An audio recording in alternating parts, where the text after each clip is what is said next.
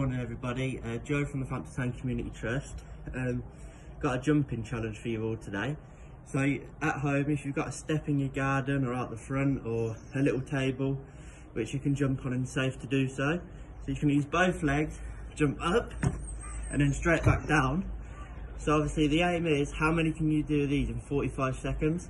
So I'll give you a quick go and I look forward to seeing your videos and if you can do better than me.